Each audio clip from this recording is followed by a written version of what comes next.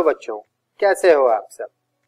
एक बार फिर से आप सभी का स्वागत है मेरा दूरदर्शन, मेरा विद्यालय में। बच्चों, मैं उम्मीद करता हूँ कि आपको जो घर पर आपके विद्यालय का अनुभव मिल रहा है, आप उसे बहुत एंजॉय कर रहे होंगे।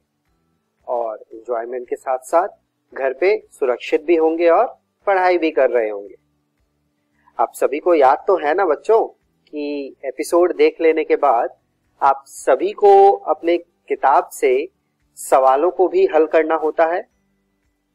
तो बच्चों, ध्यान रखिएगा कि एपिसोड खत्म हो जाने के बाद आपको अपने सवालों को भी हल करना है, क्योंकि सिर्फ़ वीडियो देख लेने से आपकी पढ़ाई पूरी नहीं होगी।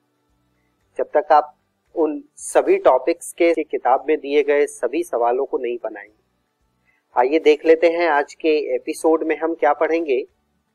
आज के एपिसोड में हम कक्षा 11 के गणित से शुरू करते हुए बायोलॉजी में cell cycle and cell division part को पढ़ेंगे। कक्षा 11 की पढ़ाई हो जाने के बाद हम कक्षा 12 की ओर बढ़ेंगे और गणित में आव्यूह चैप्टर यानी कि मैट्रिसेस के बारे में कुछ और बातें जान लेंगे। और सबसे आखिरी में हम बायोलॉजी में तो ध्यान रहे बच्चों, आप सभी को एपिसोड देखने के बाद गणित के सभी सवालों को आपकी किताब से हल करना है और जीव विज्ञान के पाठ को किताब से पढ़ना है। आइए शुरू करते हैं आज का एपिसोड। नमस्कार दोस्तों, आइए शुरू करते हैं गणित का आज एक नया पाठ जिसका नाम है रैखिक असमिकाएँ, यानी लीनियर इनइक्वालिटीज आइए इसमें आगे बढ़ते हैं और देखते हैं आज के इस वीडियो में हम क्या पढ़ने वाले हैं। पहला विषय होगा भूमिका यानी इंट्रोडक्शन और दूसरा विषय होगा असमिकाएँ यानी इनइक्वालिटीज तो चलिए शुरू करेंगे हम पहले विषय के साथ। तो इस पाठ को प्रारंभ करने से पहले मैं आपसे एक प्रश्न पूछना चाहूँगी। अपनी पिछली कक्षाओं में आपने शाब्दिक प्रश्नों के बारे में तो सुना होगा और उन्हें हल भी किया होगा। तो प्रश्न मेरा आपसे ये है कि क्या शाब्दिक प्रश्नों को सदैव एक समीकरण के रूप में परिवर्तित करना संभव है? सोचिए।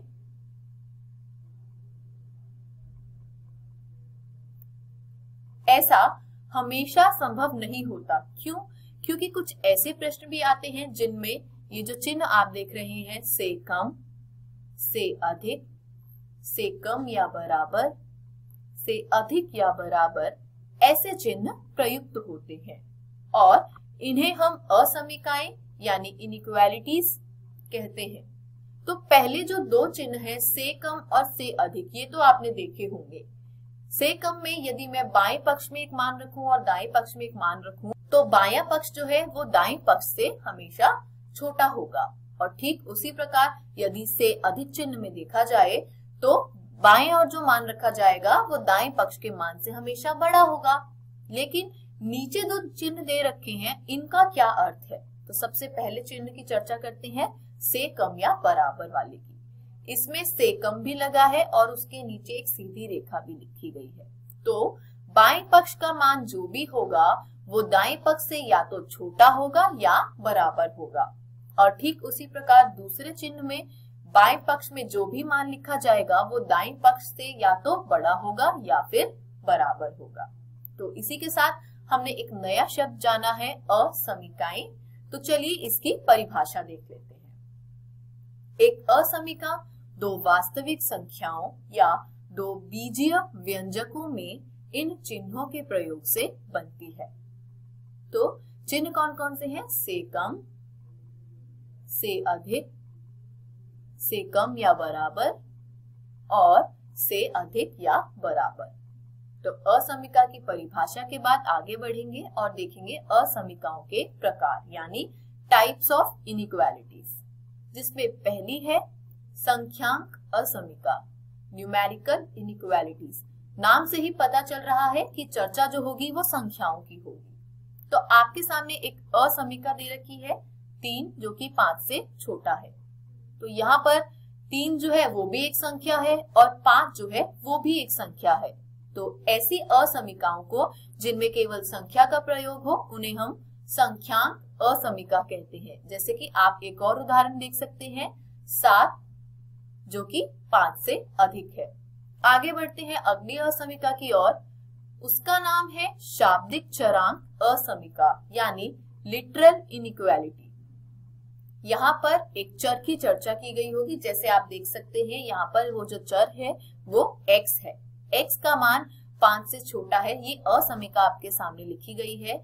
ये यहाँ पर शब्द यानी चर है और पाँच जो है वो संख्या है। ठीक इसी प्रकार का आप एक और उदाहरण देख सकते हैं कि y का मान जो है वो दो से बड़ा है। आगे बढ़ते हैं। तो हमने देखा एक और रोचक तथ्य। यहाँ पर और दो असमिकाएँ लिखी गई हैं। क्या वह भी शाब्दिक असमिका है? तो शाब्दिक असमिका का अर्थ केवल होता है कि उसके अंदर चर होंगे। असमिका में चर जो है वो उपलब्ध होंगे। अब चिन्ह आप उसमें कोई भी लगा सकते हैं। से कम, से ज़्यादा, से कम या बराबर, या फिर से ज़्यादा या बराबर। आगे बढ़ते हैं अगले प्रकार की और द्वि असमिका, यानी डबल इनइक्वालिटी तो यहाँ पर देखिए जो असमिका दी गई है, उसमें लिखा गया है तीन पाँच से छोटा है और पाँच सात से छोटा है। तो इस असमिका में ये जो चिन्ह है, वो दो बार प्रयोग में आया है। ज़रूरी नहीं है ये चिन्ह हो, चारों में से कोई भी चिन्ह हो सकता है, क्योंकि चिन्ह का प्रयोग दो बार हुआ है, इसलिए हम इसको द्वि असमिका कहते हैं। एक और उदाहरण देख सकते हैं आप। और द्विअसीमिका में सिर्फ़ ये बात होती है कि चिन्ह दो होंगे। आप उसमें संख्या भी रख सकते हैं और चर भी रख सकते हैं। यहाँ पर देखिए, यहाँ पर भी से कम या बराबर का चिन्ह है और से कम का। तो दो चिन्ह हो गए, यानी द्विअसमिका या फिर डबल इनिक्वालिटीज इसी प्रकार आप एक और उदाहरण भी देख सकते हैं। असमिकाओं के प्रकार में अगला प्रकार है सुनिश्चित असमिकाएँ, यानी स्ट्रिक्ट इनिक्वालिटी तो इसमें आप सबसे पहली असमिका देख सकते हैं ए एक्स प्लस बी जो कि छोटी है, शून्य से या फिर कम है शून्य से। तो ये आप चिन्ह देख पा रहे होंगे, ये किसका चिन्ह है? से कम का। अब अगला उदाहरण है A X plus B Y जो कि छोटा है सी से। यहाँ पर भी से कम का चिन्ह उपयोग हुआ है। अब अगला आप देखिए ए एक्स प्लस बी जो कि शून्य से बड़ा है, इसमें से अधिक का जो है चिन्ह उपयोग हुआ है और अगली असमिका है A X plus B Y जो कि सी से बड़ी है। यहाँ पर भी से अधिक का चिन्ह उपयोग में लाया गया है। तो यहाँ पर सुनिश्चित असमिका उनको कहा जाता है, जहाँ पर या तो से कम या फिर से अधिक के चिन्ह का प्रयोग किया गया हो।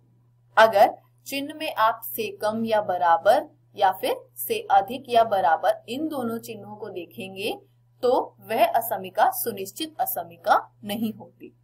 आगे बढ़ते हैं, देखते हैं अगला प्रकार असमिकाएँ, जिसे हम स्लैक इनइक्वालिटी के नाम से जानते हैं। यहाँ पर देख सकते हैं आप, पहली असमिका है a x plus b less than equal to zero यानी ए एक्स प्लस बी से कम या बराबर शून्य। तो ए एक्स प्लस बी का जो मान है, वो या तो शून्य से कम होगा या फिर शून्य के बराबर होगा। कोई निश्चितता यहाँ पर नहीं है।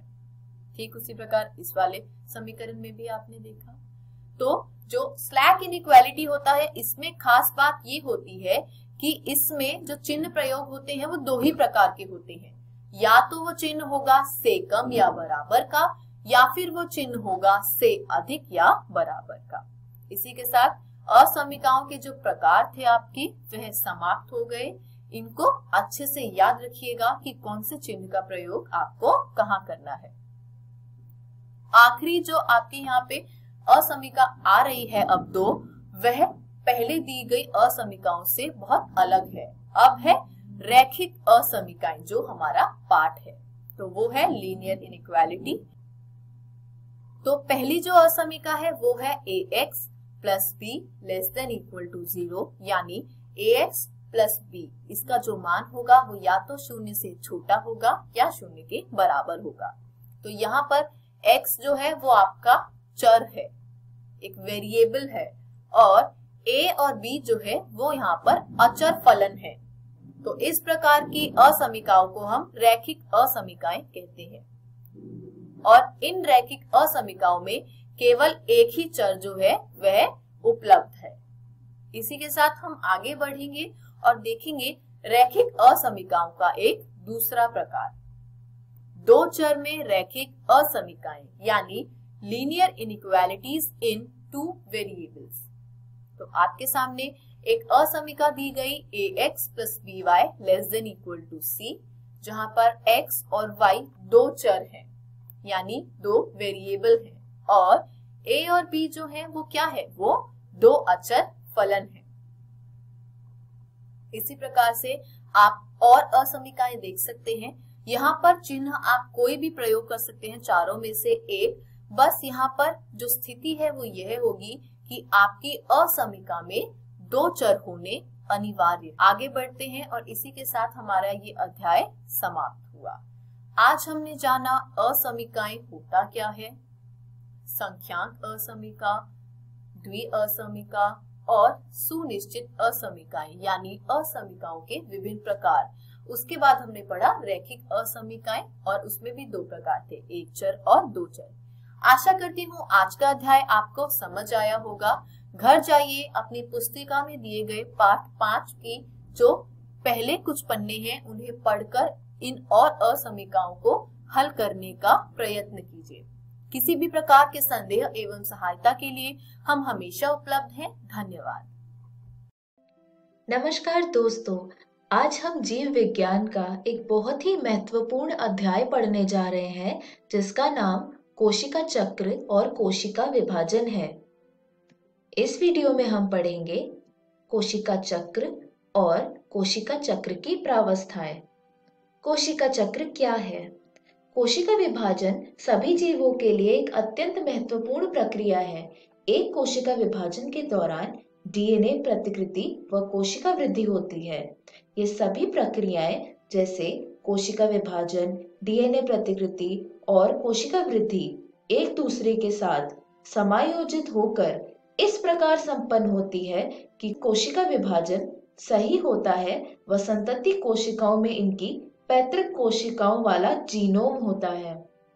घटनाओं का यह अनुक्रम, जिसमें कोशिका अपने जीनोम का द्विगुण व अन्य संघटकों का संश्लेषण और तत्पश्चात विभाजित होकर दो नई संतति कोशिकाओं का निर्माण करती है, इसे कोशिका चक्र कहते हैं।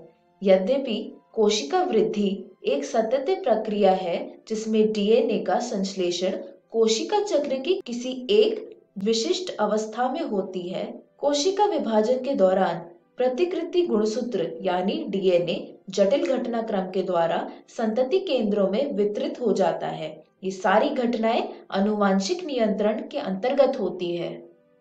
कोशिका चक्र की प्रावस्थाएँ। एक प्ररूपी यानी यूकैरियोटिक चक्र का उदाहरण मनुष्य की कोशिका के संवर्धन में होता है, जो लगभग प्रत्येक 24 घंटे में विभाजित होती है। यद्यपि कोशिका चक्र का ये अवधि एक जीव से दूसरे जीव एवं कोशिका से दूसरी कोशिका प्रारूप के लिए बदल दी जा सकती है। उदाहरणार्थ, ईस्ट के कोशिका चक्र के पूर्ण होने में लगभग 90 मिनट लगते हैं। कोशिका चक्र की दो मूल प्रावस्थाएँ होती है। अंतरावस्था। अंतरावस्था दो क्रमिक एम प्रावस्थाओं के बीच प्रावस्था को व्यक्त करता है। यह दोनों, ये ध्यान देने योग्य महत्व है कि मनुष्य की कोशिका के औसतन अवधि 24 घंटे की कोशिका चक्र में कोशिका विभाजन लगभग एक घंटे में पूर्ण होता है, जिसमें कोशिका चक्र की कुल अवधि पिचानवे प्रतिशत से अधिक की अवधि अंतरावस्था में ही व्यतीत होती है। अंतरावस्था को विश्राम प्रावस्था भी कहते हैं। ये वह प्रावस्था है जिसमें कोशिका विभाजन के लिए कोशिका तैयार होती है और इसके दौरान क्रमबद्ध तरीके से कोशिका वृद्धि व डीएनए की प्रतिकृतिकरण दोनों होते हैं। एम प्रावस्था यानी सूत्री विभाजन, इसे हम माइटोसिस भी कहते हैं। एम प्रावस्था का आरंभ केंद्रक के विभाजन यानी केरियोकाइनेसिस से होता है, जो कि संगतक संतति गुणसूत्र के पृथकरण सूत्री विभाजन के समतुल्य होता है और इसका अंत कोशिका द्रव्य विभाजन यानी साइटोकाइनेसिस के साथ होता है। अंतरावस्था। अंतरावस्था को तीन प्रावस्थाओं में विभाजित किया गया है।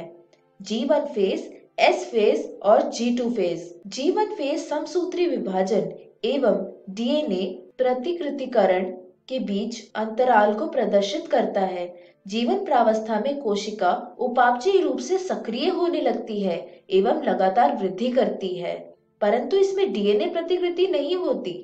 एस फ़ेज़ में डीएनए का निर्माण एवं इसकी प्रतिकृति होती है। इस दौरान डीएनए की मात्रा दोगुनी हो जाती है। यदि डीएनए की प्रारंभिक मात्रा 2C है तो अब वो 4C हो जाती है। G2 प्रावस्था के दौरान प्रोटीन का निर्माण होता है।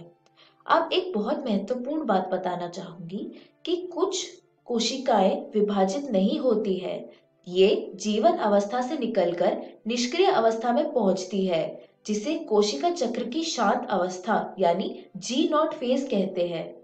इस अवस्था की कोशिका उपापचयी रूप से सक्रिय होती है, लेकिन विभाजित नहीं होती। एम प्रावस्था, सूत्री विभाजन को चार अवस्थाओं में विभाजित किया गया है। पूर्वावस्था, यानी प्रोफेज मध्यावस्था, यानी मेटाफेज पश्चावस्था, यानी एनाफेज अंत्यावस्था, यानी टीलोफेज इसके बाद आता है कोशिका द्रव्य विभाजन, जिसे हम साइटोकाइनेसिस भी कहते हैं।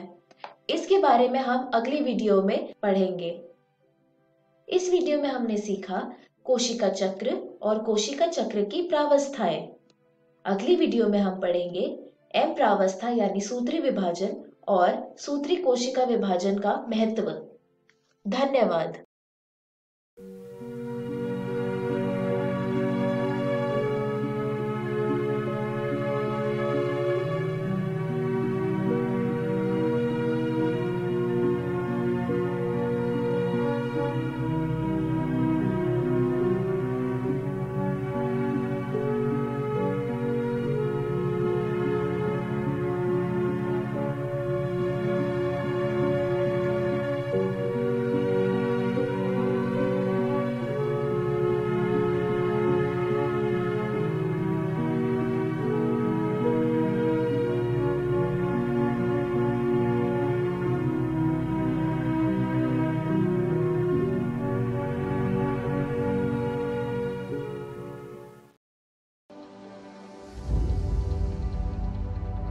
कोरोना से डरे नहीं, एहतियात बरते।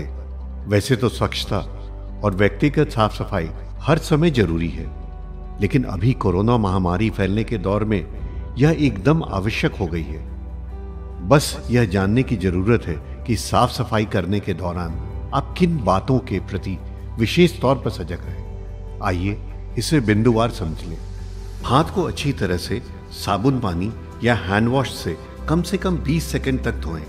या अल्कोहल सैनिटाइजर से साफ़ करें। होटल या किसी कार्यालय में जाएँ तो वहाँ उपलब्ध हैंड वॉशिंग प्रोटोकॉल के अनुसार अपने हाथों को साफ़ करें।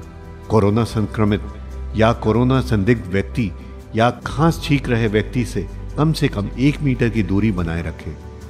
भीड़ भाड़ में मास्क लगाए रखें या मुँह नाक को ढक कर रखें। यदि घर में कोरोना संक्रमित व्यक्ति क्वारंटाइन में है तो उसके व्यक्तिगत उपयोग की चीज़ों जैसे बर्तन, ग्लास, कप, तौलिया बिस्तर का इस्तेमाल न करें।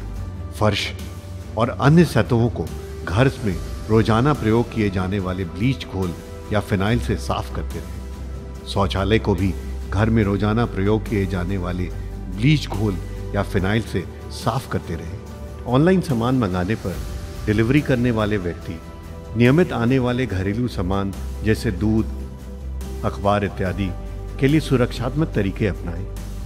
बस, ट्रेन, ऑटो, टैक्सी, दुकान के काउंटर के संपर्क में आने पर भी एहतियात बरतें। जनहित में जारी, राज्य स्वास्थ्य समिति बिहार। अधिक जानकारी के लिए संपर्क करें, टोल फ्री नंबर एक शून्य चार। नमस्कार दोस्तों आव्यू यानी कि मैट्रिसेस के वीडियो में आपका स्वागत है। तो चलिए देखते हैं, हम इसमें क्या पढ़ेंगे। आवयों पर प्रारंभिक संक्रियाएँ और व्युत्क्रमणीय आवयव तो चलिए शुरू करते हैं आवयु पर प्रारंभिक संक्रियाएँ से। किसी दो पंक्तियों या दो स्तंभों का परस्पर विनिमय होगा। अब देखिए, इसमें मैंने पहली और दूसरी पंक्ति का परस्पर विनिमय करा है। यह पहली संक्रिया है। दूसरी संक्रिया। किसी पंक्ति या स्तंभ के अवयवों को एक शून्यतर संख्या से गुणन करना। जैसे कि R1 में मैंने सात से गुना करा है। देखिए। अब आप इसमें देख सकते हैं कि पहली पंक्ति में मैंने सात से गुना करा है, बाकी ऐसे ही रहेगा। अब देखते हैं तीसरी संक्रिया। किसी पंक्ति या स्तंभ के अवयवों में किसी अन्य पंक्ति या स्तंभों के संगत अवयवों को किसी शून्यतर संख्या से गुना करके जोड़ना। इसमें मैंने पहली पंक्ति को दो से गुणा करा है, फिर माइनस आर टू करा है, यानी कि दूसरी पंक्ति। यह मेरा एक आव्यूह है।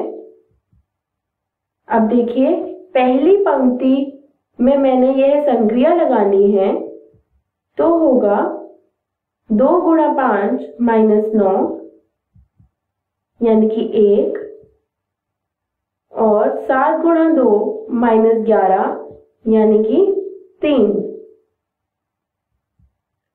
व्युत्क्रमणीय आव्यूह ए बी बराबर होगा बी ए, जो कि बराबर होगा आई के, यानी कि तत्समक आव्यूह उदाहरण द्वारा समझते हैं, ए और बी दो आव्यूह हैं। ए गुणा बी होगा इसको सरल करके हमें प्राप्त होगा। अब हम देख सकते हैं कि यह एक तत्समक आव्यूह है। अब हम बी ए निकालेंगे, यानी कि बी गुणा ए इसको सरल करने पर भी हमें एक तत्समक आव्यूह प्राप्त होगा, यानी कि बी ए का व्युत्क्रमणीय आव्यूह है। उदाहरण प्रारंभिक संक्रियाओं के प्रयोग द्वारा आव्यूह ए का व्युत्क्रम ज्ञात कीजिए। चरण एक। पहले हम ए को ए के बराबर रखेंगे। अब हम इसमें आई लिखेंगे, यानी कि ए बराबर होगा आई ए के। अब देखिए ए में हम तत्समक आव्यू बनाएँगे और आई की जगह पे जो हमें मान ज्ञात होगा, वह आव्यू व्युत्क्रम होगा। देखिए, यहाँ मैंने a बराबर आई ए की जगह पे यह लिख दिया। हम यहाँ पर तत्समक आव्यू बनाएँगे। और हमें यहाँ पे a का व्युत्क्रम प्राप्त होगा। तो चलिए, अब हम पंक्ति संक्रिया लगाएँगे। तत्मक आव्यू बनाने के लिए हमें वन ज़ीरो ज़ीरो वन चाहिए। हम देख सकते हैं कि यहाँ पर वन हमारे पास है। अब हमें यहाँ दो की जगह पे ज़ीरो बनाना है। अब क्योंकि हमें तत्मक आव्यू बनाना है तो हम दूसरी पंक्ति में यह संक्रिया लगाएँगे। इसके बाद हमें मिलेगा। अब आप देख सकते हैं कि यहाँ पे मुझे ज़ीरो मिल गया और यह संक्रिया मैंने दोनों तरफ़ लगाई है।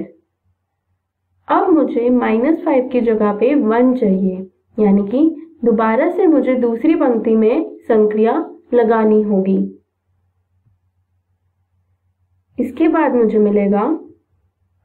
ध्यान दीजिए, यहाँ पे वन बन चुका है और यह संक्रिया दोनों तरफ़ लगी है। अब तत्समक आव्यू के लिए केवल हमें दो को ज़ीरो बनाना होगा। तो पहली पंक्ति में हमने संक्रिया लगाई। यहाँ पे ज़ीरो बन चुका है और यह संक्रिया दोनों तरफ़ लगी है। अब क्योंकि यहाँ पे तत्समक आव्यूह बन चुका है और हम जानते हैं आई यानी कि आव्यूह बराबर होता है ए प्रतिलोम गुणा ए के तो इसलिए ए प्रतिलोम बराबर होगा इस आवयु के। उदाहरण, प्रारंभिक संक्रियाओं के प्रयोग द्वारा आवयु ए का व्युत क्रम ज्ञात कीजिए। सबसे पहले हम a को बराबर रखेंगे i गुणा a के तो हमें मिलेगा। तो चलिए, अब हम व्युत्क्रम निकालने के लिए तत्समक आव्यूह बनाना शुरू करते हैं। क्योंकि हम देख सकते हैं कि यहाँ पे ज़ीरो की जगह पे हमें वन चाहिए, क्योंकि हमें तत्समक आव्यूह बनाना है। तो हम पहली और दूसरी पंक्ति को आपस में परस्पर विनिमय करेंगे। तो चलिए, पहली संक्रिया लगाते हैं। ये देखिए, यह दोनों तरफ़ हुआ है। अब हम तीसरी पंक्ति में तीन को ज़ीरो बनाएँगे, यानी कि हमें तीसरी पंक्ति में संक्रिया लगानी है। तो हमें मिलेगा, और यह संक्रिया दोनों तरफ़ लगी है। अब क्योंकि दूसरे स्तंभ में वन हमारे पास है, यानी कि पहली पंक्ति और दूसरी पंक्ति में हमें ज़ीरो बनाना है। तो चलिए, पहली पंक्ति में बनाते हैं। यहाँ हमने ज़ीरो बना दिया और यह संक्रिया दोनों तरफ़ लगी है। अब हम यह संक्रिया तीसरी पंक्ति में लगाएँगे। यह संक्रिया दोनों तरफ़ लगाई है। अब हम दोबारा से तीसरी पंक्ति में संक्रिया लगाएँगे, क्योंकि तीसरी पंक्ति और तीसरे स्तंभ में जहाँ पे दो है, वहाँ मुझे एक चाहिए।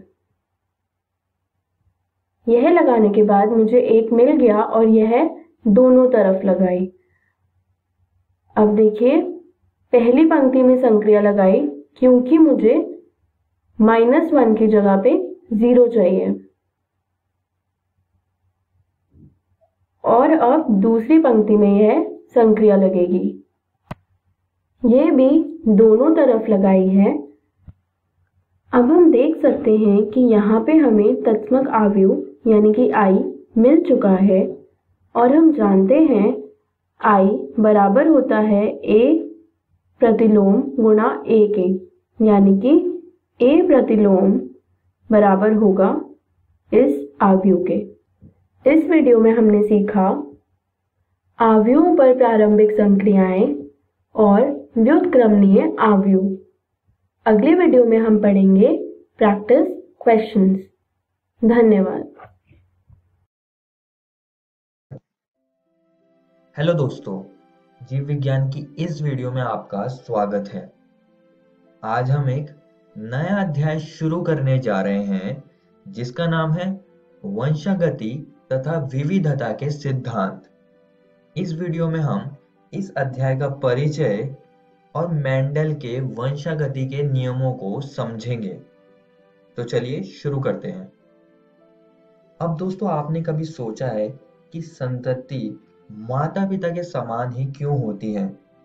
या इनमें कुछ अंतर भी होता है? अब हम यह तो नहीं कह सकते कि ये एकदम ही क्लोन होते हैं, क्योंकि लैंगिक जनन की प्रक्रिया से कुछ विविधता ज़रूर आती है। ऐसे ही कुछ प्रश्नों के हम जवाब इस अध्याय में ढूंढेंगे और जानेंगे कि ये सारी चीज़ें क्यों होती हैं और कैसे होती है। आइए अब एक शब्द वंशागति को समझते हैं। अब इस अध्याय का नाम है वंशागति तथा विविधता के सिद्धांत तो वंशागति को समझना तो बनता है। वंशागति आनुवांशिकी का आधार है। वंशागति वह प्रक्रम है जिससे लक्षण जनक से संतति में जाते हैं। जैसा कि आप इस तस्वीर में देख सकते हैं कि पिता के कान के आकार की, बेटे के कान के आकार की से मिलती है, जिसका सीधा साधा मतलब यह है कि कुछ लक्षण जनक से संतति में गए हैं। यही वंशगति कहलाती है। अब हमने वंशागति को तो समझ लिया तो चलिए विविधता को भी समझ लेते हैं। विविधता जनक और संतति के लक्षणों की असमानता की अवस्था है। आइए दोस्तों, अब आगे बढ़ते हैं और मेंडल के वंशागति के नियमों को समझते हैं। अब दोस्तों, एक शख्स था, जिसका नाम था ग्रिगोर मेंडल, जिनकी आप साथ में तस्वीर भी यहाँ पर देख सकते हैं।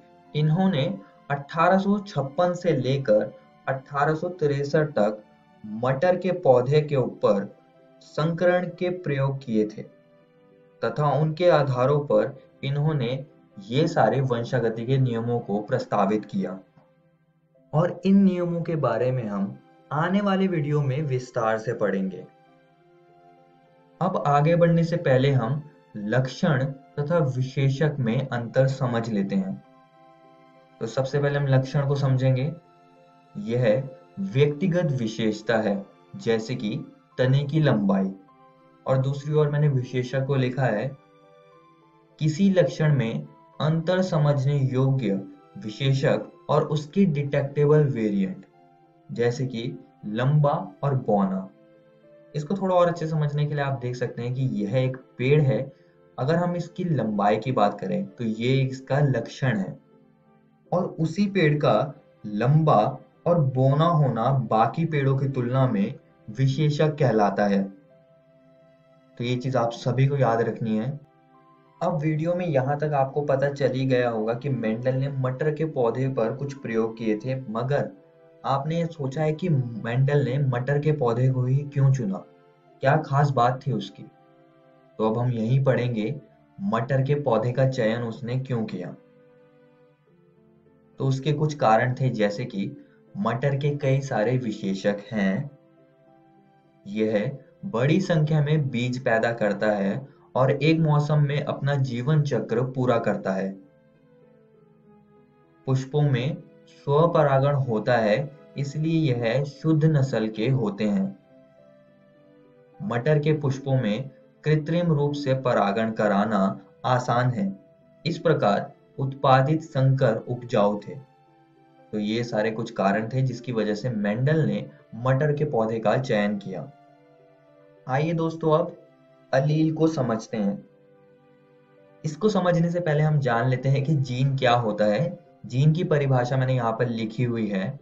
गुणसूत्रों पर स्थित डीएनए की बनी वो अति सूक्ष्म रचना है जो आनुवांशिक लक्षणों का धारण एवं उनका एक पीढ़ी से दूसरी पीढ़ी में स्थानांतरण करती है, जीन कहलाती है। अब दोस्तों, अलील के विषय को हम इस परिवार के बालों के रंग के उदाहरण से समझते हैं। बालों का रंग यहाँ पर हमने विशेषक के रूप में लिया हुआ है। अब दोस्तों, इस चित्र में आप देख सकते हैं कि इस परिवार में पिता और पुत्र के बालों का रंग गहरा भूरा है और माता और पुत्री के बालों का रंग हल्का भूरा है। अब इन दोनों संतति के माता पिता तो एक ही हैं तो बालों के रंग में अंतर क्यों आ रहा है? इन्हीं सब का कारण जीन में छिपा है। अब दोस्तों, आपको पता ही होगा कि हमारे पास 46 गुणसूत्र होते हैं, यानी कि 23 जोड़े। अब इन 23 जोड़ों में से एक जोड़ा हम ले लेते हैं गुणसूत्रों का। यहाँ पर हाइलाइटेड हिस्से को देखिए। यह जीन लोकस है, जो कि एक फिक्स्ड पोजीशन होती है, जहाँ पर इस केज में जीन मौजूद है।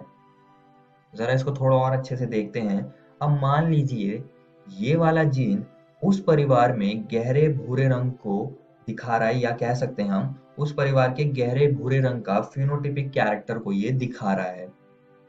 और एक और बात आप सभी को याद रखनी है कि ये वाला गुणसूत्र हमको मिला है संतति में माता से, और ये वाला गुणसूत्र हमको संतति में मिला है पिता से। अब हर एक जोड़ा एक एक अलील का योगदान करेगा। अब अलील को हम थोड़ा और अच्छे से समझेंगे। जीन, जो कि युग्म के विप्रयास विशेषकों के लिए कोड होते हैं, अलील कहलाते हैं। यह एक जीन के थोड़े अलग रूप हैं, इसलिए जीन शब्द का उपयोग किसी भी कारक के लिए किया जा सकता है, लेकिन अलील शब्द का उपयोग किसी अन्य अलील के संदर्भ में किया जाता है। ये चीज़ आप सभी को याद रखनी है। अब दोस्तों हम अलील को अक्षरों से दिखाते हैं, और हमने बालों के रंग का उदाहरण लिया है तो चलिए हम यहाँ पर लिख देते हैं, बड़ा एच और छोटा एच एच यानी कि हेयर कलर यानी कि बालों का रंग। अब जो बड़ा अक्षर है यहाँ पर, वो प्रभावी अलील को दर्शाता है। प्रभावी अलील वो अलील होते हैं जो कि एक्सप्रेस हो सकते हैं, यानी कि जो अपने आप को व्यक्त कर पाए। और छोटा अक्षर अप्रभावी अलील को दर्शाता है जो कि अपने आप को व्यक्त नहीं कर पाता जब साथ में प्रभावी अलील होता है। ये चीज़ आप सभी को याद रखनी है। अब अगर दोनों ही प्रभावी अलील साथ में हो या कोई एक प्रभावी अलील हो तो वो जो प्रभावी विशेषक है उसको वो व्यक्त कर पाएँगे। तभी उस पुत्र में बालों का रंग गहरा भूरा था, क्योंकि वो प्रभावी विशेषक था वहाँ पर। और इसी बात से अगर हम समझे तो पुत्री के पास ज़रूर ये वाले अप्रभावी अलील होंगे, छोटा एच छोटा एच, क्योंकि उसके बालों का रंग हल्का भूरा था। तो हम कह सकते हैं कि पुत्र के पास बड़ा एच बड़ा एच या बड़ा एच छोटा एच अलील होंगे, तभी उसके बालों का रंग गहरा भूरा था और पुत्री के पास छोटा एच छोटा एच होगा, क्योंकि तभी उसके पास हल्के भूरे रंग के बाल थे। आइए अब हम इसकी कुछ और महत्वपूर्ण बातों को समझ लेते हैं। सबसे पहले हम जीनोटाइप, यानी कि जीनी प्ररूप को समझेंगे। यह एक या अधिक लक्षणों के संबंध में किसी व्यक्ति के आनुवांशिक पूरक का प्रतिनिधित्व है। जैसे बड़ा एच बड़ा एच बड़ा एच छोटा एच छोटा एच छोटा एच और हम फिनोटाइप यानी कि दृश्य प्ररूप को भी समझेंगे। यह अवलोकनीय आकार की रूप है, जैसे लंबा या बौना पौधा। इस वीडियो में हमने वंशागति तथा विविधता के बारे में पढ़ा। साथ ही में हमने ग्रिगोर मेंडल को भी थोड़ा सा जाना और आखिरी में हमने अलील पर चर्चा करी। और दोस्तों, मैं आप सभी को एक और बात बताना चाहता हूँ कि आज हमने आपकी एनसीईआरटी किताब के ये दो टॉपिक्स को ऑलमोस्ट खत्म कर लिया है। आप इनको ज़रूर घर से, किताब से पढ़कर आइएगा। अगली वीडियो में हम एक जीन की वंशागति और मेंडल के वंशागति नियमों को समझेंगे। धन्यवाद। you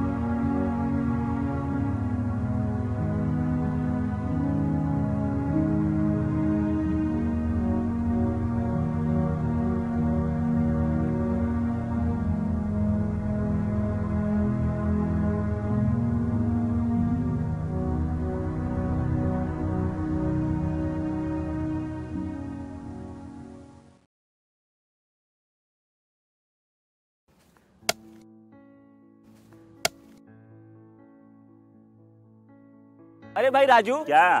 अरे सुने कि कल चाचा कुछ बता रहे थे? क्या बोल रहे थे? हाँ चाचा कल बहुत बढ़िया बात बता रहे थे। कह रहे थे कि हम लोगों को अपने बच्चा लोग के पढ़ाई लिखाई पे ध्यान देना चाहिए।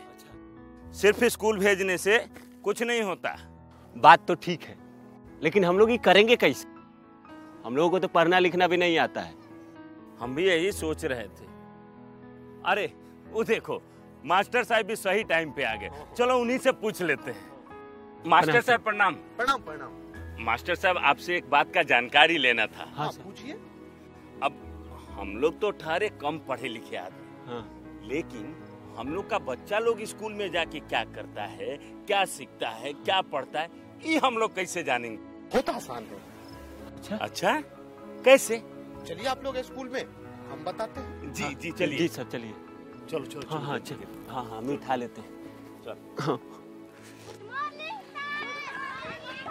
आइए। ये देखिए ये है क्लास तीन का अधिगम प्रतिफल पोस्टर। इसका मतलब है यदि आपका बच्चा वर्ग तीन में पढ़ता है तो उसे इस पोस्टर में जो लिखी गई सारी चीज़ें उसे जानकारी होनी चाहिए।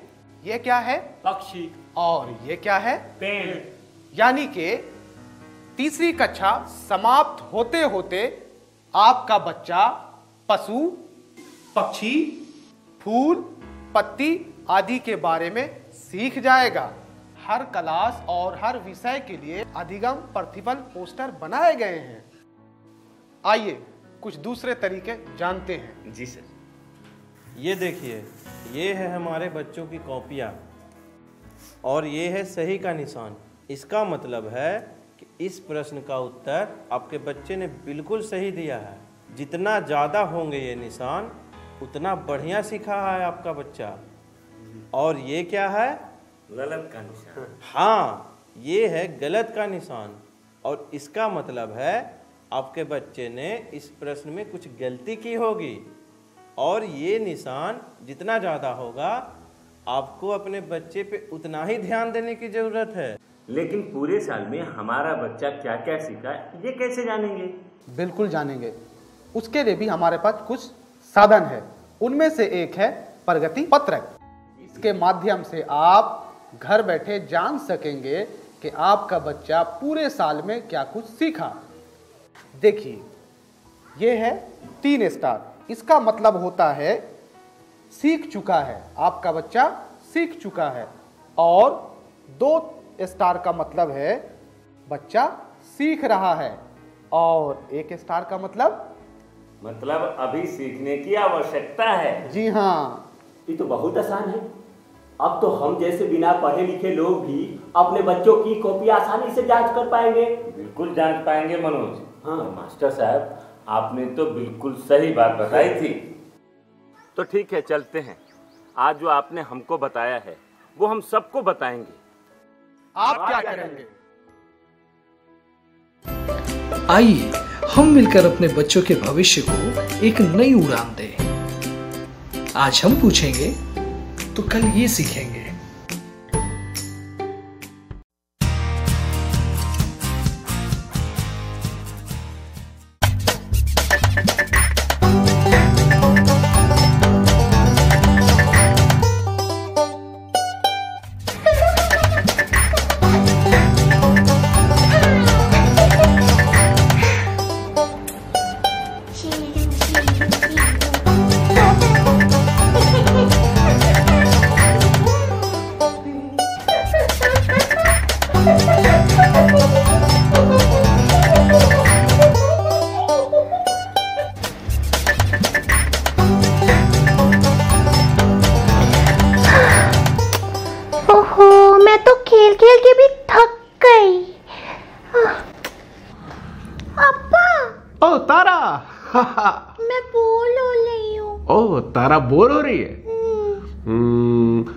तारा। चलो एक क्विज खेलते हैं। क्विज हाँ मैंने तुम्हें कोरोना वायरस के बारे में बताया था ना। देखे तुम्हें याद है कि नहीं? हम्म, मुझे सब याद है अब्बा आपने मुझे बताया तो है। ठीक है तो हो जाए कोरोना क्विज हो जाए। हम्म तो बताओ कोरोना क्या है? कोरोना हम्म हम्म, इजी कोरोना एक तरह का विषाणु है वायरस जिसके कारण इंसान बीमार हो सकते हैं। उन्हें सांस लेने में मुश्किल हो सकती है और वो मर भी सकते हैं। ये बताओ कि कोरोना कैसे फैलता है? हम्म, अगर किसी को कोरोना है तो उसके खांसते या छींकते वक्त उसके मुँह और नाक से जो बूंदे निकलती है ना उससे ये रोग फैलता है। बिल्कुल सही तारा। और इस वायरस का नाम कोरोना क्यों है? हम्म, आपने बताया था। हाँ याद आ गया। कोरोना शब्द का मतलब है क्राउन यानी मुकुट। क्योंकि इस वायरस के कणों के इर्द गिर्द ऐसे उभरे हुए कांटे जैसे होते हैं जिसकी वजह से ये मुकुट या क्राउन जैसा लगता है। इसलिए इसे कोरोना नाम दिया गया। और कितने दिनों में कोरोना इन्फेक्शन के लक्षण दिखाई देते हैं? तो उसे चौदह दिनों में। करेक्ट बिल्कुल सही। और इस बीमारी के लक्षण है क्या क्या तारा? अब्बा ये वायरस किसी के अंदर जाए तो बुखार खांसी गले में खलाश और सांस लेने में दिक्कत हो सकती है। वाह इसे तो सब कुछ याद है। बहुत अच्छे तारा बहुत अच्छे। थैंक्स अप्पा।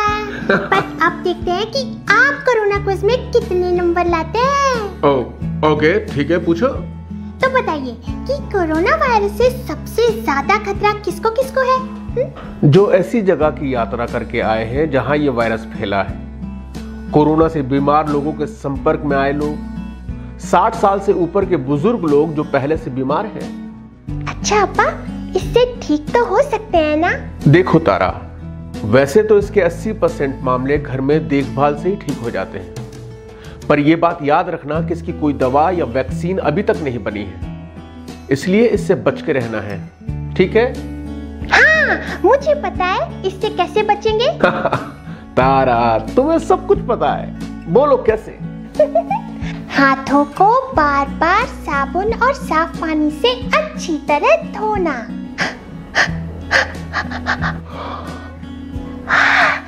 तारा अभी मुँह नाक और आँखें छूने से हमें बचना चाहिए। ये लो। थैंक यू अप्पा कोरोना से बचने के लिए खांसते छींकते समय रुमाल टिश्यू या कोहनी से मुँह को ढको तारा। ठीक है?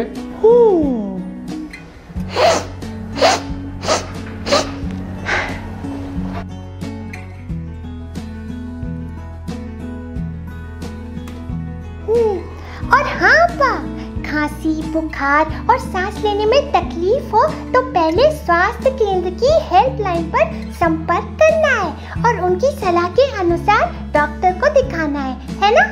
हाँ और ये सब खत्म होने तक घर पर ही रहना है सबसे अलग। तो इसी बात पर मिलाइए आप हाँ? तारा ये क्या कह रही हो? कोरोना से बचने के लिए किसी से भी हाथ नहीं मिलाना। सभी को हाथ जोड़कर नमस्ते करो। नमस्ते, नमस्ते। ऐसे। सभी को हाथ जोड़कर नमस्ते करो और एक मीटर की दूरी से बात करनी है। ठीक है? बताओ इसको क्या कहते हैं? um, हाँ हाँ अप्पा इसे कहते हैं social dis dis dis social distancing दूसरों से सुरक्षित दूरी। हम्म, सही बात बताने के लिए थैंक यू अप्पा। हाँ तारा गलत बातों और अफवाहों पर ध्यान मत दो। नहीं तो कोरोना से बच नहीं पाएँगे हम तारा। तो आपको भी अब कोरोना के बारे में सब सही बातें पता है ना? हा? हम आपको ये बता रहे हैं क्योंकि हम हम ख्याल रखते हैं, हैं। कोरोना वायरस जैसी महामारी से बचाव के लिए देश भर में लॉकडाउन है। बच्चों को सुरक्षित रखने के लिए विद्यालय बंद किए गए हैं। इस परिस्थिति में आपका मोबाइल ही आपका विद्यालय बन सकता है। जी हाँ बिहार सरकार के शिक्षा विभाग ने यूनिसेफ और इकोवेशन के साथ मिलकर उन्नयन ऐप, मेरा मोबाइल, मेरा विद्यालय की शुरुआत की है। इस ऐप पर आप कक्षा 6 से 12 तक के पाठ्यक्रम को पढ़ सकते हैं। सिर्फ़ पढ़ ही नहीं सकते, बल्कि आपको पढ़ते समय अगर किसी भी तरह की कोई परेशानी आती है या फिर मन में कोई सवाल आता है तो इस ऐप पर आप अपने सवाल भी पूछ सकते हैं, जिसका जवाब उस विषय के विशेषज्ञ द्वारा दिया जाएगा। तो प्ले स्टोर से अभी डाउनलोड करें उन्नयन ऐप, मेरा मोबाइल मेरा विद्यालय, और अपने मोबाइल से ही अपने विद्यालय का अनुभव पाएँ, वो भी बिल्कुल निशुल्क। घर पर रहें, सुरक्षित रहें, स्वस्थ रहें, पढ़ते रहें, आगे बढ़ते रहें। क्योंकि चाहे कोई भी स्थिति हो, शिक्षा हर बच्चे का अधिकार है। बिहार शिक्षा परियोजना की एक पहल। आशा करता हूँ कि आज के एपिसोड में जो भी पाठ आपको पढ़ाया गया हो, आप उसे अच्छे से समझ पाए होंगे। यदि कोई सवाल आपके मन में आया हो तो उसे उन्नयन ऐप पर आप पोस्ट करके अपने जवाब को जान सकते हैं, या फिर आप हमें ईमेल भी कर सकते हैं, स्क्रीन पर दिए गए ईमेल आईडी पे। एक आवश्यक सूचना, यह वीडियो बीपीसी की वेबसाइट पर भी उपलब्ध है। वेबसाइट नोट कर लीजिए बच्चों www.bepcssa.in जब आप इस वेबसाइट पर जाएँगे तो डिजिटल लर्निंग वाले सेक्शन में जाकर आप इस वीडियो को देख सकते हैं। मिलते हैं बच्चों अगले एपिसोड में कुछ और रोचक पाठ के साथ। तब तक के लिए घर में रहिए, सुरक्षित रहिए और पढ़ते रहिए। बाय बाय बच्चों।